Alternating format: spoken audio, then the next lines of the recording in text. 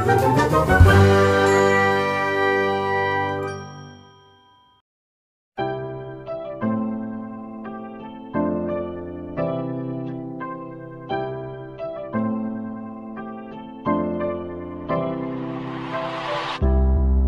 दोस्तों, स्वागत है आपका magic math by Randhawa sir में। आज हम डिस्कस करने जा रहे हैं एक्सरसाइज 3.3 के क्वेश्चन नंबर थर्ड और उसके बाद एक्सरसाइज 3.4 चलिए थर्ड का हम फिफ्थ पार्ट पे पहुँच गए थे। Question number three part number fifth देखिए। एक्सरसाइज 3.3 क्वेश्चन नंबर थर्ड का फिफ्थ पार्ट स्टेटमेंट बड़े ध्यान से if fraction becomes 9 by 11 if 2 is added to both numerator and denominator. If 3 is added to both numerator and denominator it becomes 5 by 6 find the fraction तो बच्चों आपको fraction पता है किस टाइप की होती है पहले फ्रैक्शन मान लेते हैं लेट फ्रैक्शन इज़ न्यूमरेटर मान लेते हैं let numerator is equal to x let denominator is equal to y तो आपकी फ्रैक्शन क्या बनेगी? So fraction is equal to X Y Y अब according to condition first condition first को ध्यान से देखिए। इन्होंने क्या कहा है?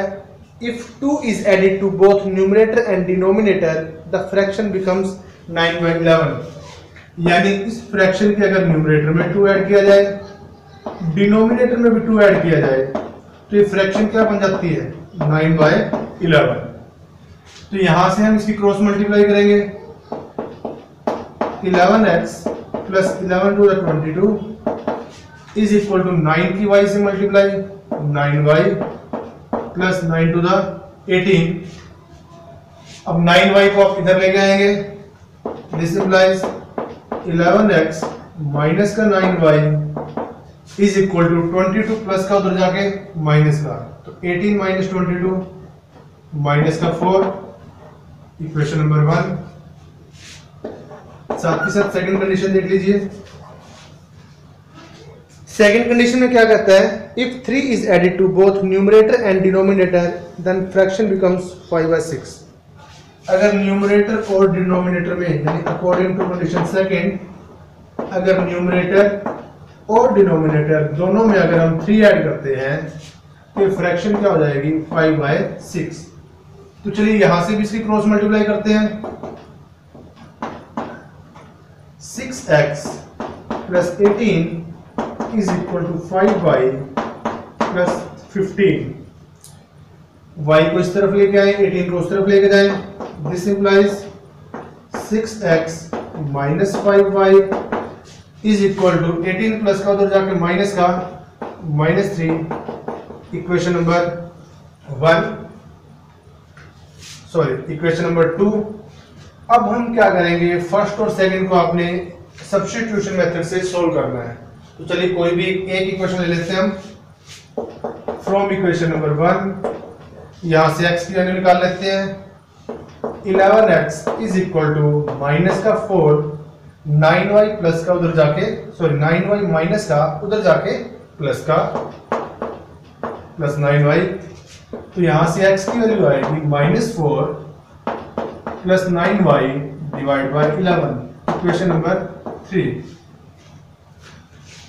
अब x की वैल्यू अगर हमने फ़र्स्ट इक्वेशन में से निकाल ली तो पुट किसमें करेंगे? इक्वेशन नंबर सेकंड में। पुट कीजिए put in equation number second. तो यहाँ से सिक्स इंटू एक्स की value minus four plus nine Y divide by eleven minus का five Y is equal to minus three. यहाँ से हम इसका एलसीएम ले लेते हैं। दोनों साइड एलसीएम आएगा इलेवन। सिक्स के अंदर मल्टीप्लाई माइनस का ट्वेंटी फोर प्लस का nine six fifty four Y minus eleven की फाइव से multiply fifty five Y is equal to eleven की माइनस थ्री से multiply minus thirty three. Equal to के दोनों साइड एलसीएम लिया गया है तो एलसीएम नीचे से हट जाएगा। तो यहाँ से क्या आएगा? ध्यान से देखिए 24 माइनस का उधर जाके, प्लस का माइनस का 33 प्लस का 24 और यहाँ से कैलकुलेशन कीजिए 54y प्लस का 55y माइनस का, क्या आएगा? माइनस का y तो यहाँ से आ गया minus Y is equal to minus का 33 प्लस का 24 आई थिंक ये आएगा माइनस का नाइन माइनस से माइनस कैंसिल यहाँ से y की वैल्यू क्या आ गई आपकी? 9 तो y की वैल्यू हम इक्वेशन नंबर 1 2 या थ्री किसी में भी पुट कर सकते हैं। ज़ाहिर हम थर्ड में पुट कर सकते हैं वाई की वैल्यू इजी रहेगा। पुट इन इक्वेशन नंबर 3 तो यहाँ से x की वैल्यू आएगी माइनस का फोर प्लस का 9 इंटू y की value nine divide 11 9 9 is the 81 माइनस का 4 77 डिवाइड बाई 11 ये कैंसिल हो जाएगा सेवन पे तो x की वैल्यू आ गई आपकी सेवन y की वैल्यू आ गई आपकी नाइन आपने क्या निकालनी थी? फ्रैक्शन सो so, फ्रैक्शन आपकी किसके इक्वल आएगी? Fraction is equal to x upon y, which is equal to 7 upon 9 so, this is your answer. Is that clear? मेरे ख्याल से आपको समझ में आ गया होगा। चलिए अब बढ़ते हैं हम अपने अगले क्वेश्चन की तरफ़। सिक्स पार्ट के स्टेटमेंट देखिए।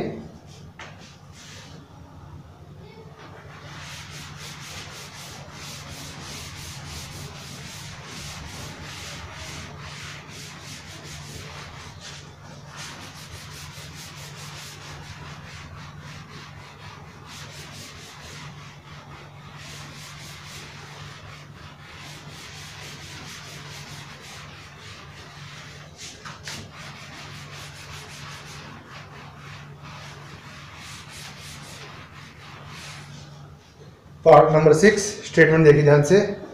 Five years hence the age of Jacob will be three times that of his son five years ago Jacob's age was seven times that of his son what are their present ages तो ये ऐसा ऐसा question हमने कुछ 3.2 में भी किया था।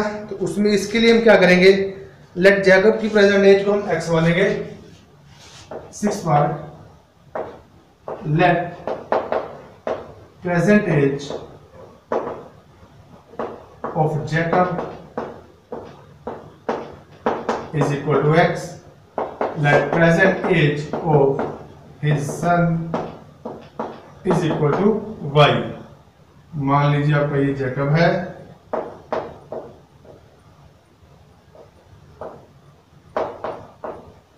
इसकी एज को आपने एक्स माना है और उसका जो ये आपका सन है, उसका इसकी एज को आपने वाई माना है।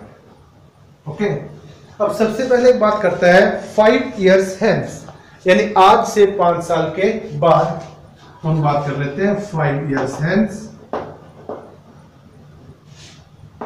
hence age of Jacob बताइए क्या आएगी?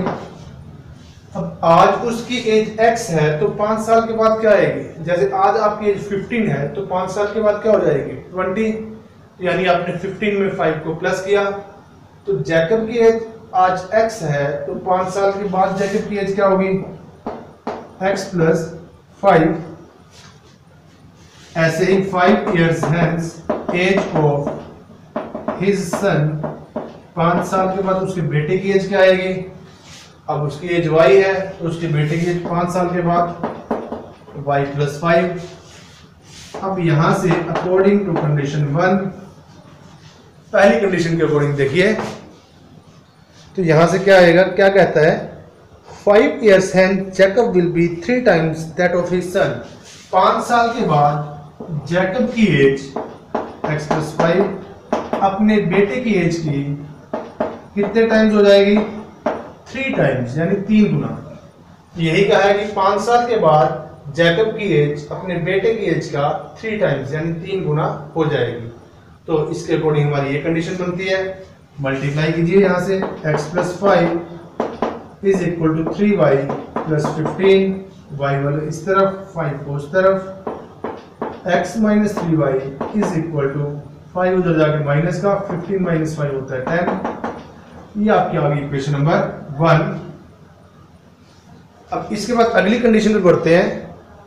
Five years ago Jacob's age was seven times that of his son अब की बार बात की गई है फाइव ईयर्स एगो की। तो five years ago Jacob's age क्या पाँच साल पहले। पाँच साल बाद थी तो प्लस किया। पाँच साल पहले है तो क्या हो जाएगा? एक्स में से फाइव को माइनस करेंगे। जैसे आपकी एज आज थर्टी इयर्स है तो पाँच साल पहले आपकी एज कितनी होगी? ट्वेंटी फाइव तो एगो के लिए हम क्या करेंगे? माइनस तो five years ago his son's age तो उसकी एज वाई है तो पाँच साल पहले उसकी एज क्या थी? वाई माइनस फाइव तो चलिए हम यहाँ से आगे बढ़ते हैं. अकॉर्डिंग टू कंडीशन सेकंड पाँच साल पहले जैकब की एज x माइनस फाइव अपने बेटे की एज की कितने टाइम्स थी? Seven times is a clear पाँच साल पहले जेकब की एज अपने बेटे की एज का सेवन टाइम्स थी. तो यहाँ से क्या आएगा? This implies x minus five is equal to seven Y minus का थर्टी फाइव वाई को उधर लेके आए फाइव को उधर लेके जाए. X minus seven Y is equal to minus का थर्टी फाइव प्लस का फाइव यहाँ से हमारी दूसरी इक्वेशन बनेगी. So x minus seven Y is equal to minus का थर्टी इक्वेशन नंबर टू अब यहाँ हमारे पास दोनों इक्वेशन आ गई हैं। किसी भी एक इक्वेशन में से वैल्यू निकालिए और दूसरे में पुट कीजिए। चलिए हम यही से निकाल लेते हैं। सो x की वैल्यू क्या आएगी? माइनस का thirty plus seven Y equation number three second में से आपने इक्वेशन निकाली है तो आप पुट किसमें करोगे? फ़र्स्ट में। सो x की वैल्यू पुट करें यहाँ से, देखो। माइनस का थर्टी प्लस सेवन वाई और माइनस का थ्री वाई था ना इसके साथ? माइनस का three Y is equal to ten यहाँ से कैलकुलेशन करें। माइनस का thirty seven Y minus three Y plus का four Y is equal to ten thirty minus का उधर जाके प्लस का four Y is equal to आएगा फोर्टी और वाई की वैल्यू आएगी forty divide by four ten is that clear तो y की वैल्यू आप जिसमें मर्ज़ी पुट कर सकते हैं। हम पुट करेंगे इक्वेशन नंबर थर्ड में। Put in equation number three so X की वैल्यू आएगी आपकी माइनस का thirty plus seven into Y की value ten ten into seven seventy minus thirty forty तो यहाँ से x की वैल्यू फोर्टी आ गई और y की वैल्यू टेन यानी जो जैकब की एज है, वो 40 इयर्स है। और उसके सन की जो एज है वो टेन इयर्स है। तो ये आप आंसर लिख दीजिए so present age of Jacob is equal to 40 years. So present age of his son is equal to 10 years. Is it clear? चलिए इसके बाद आगे बढ़ते हैं हम।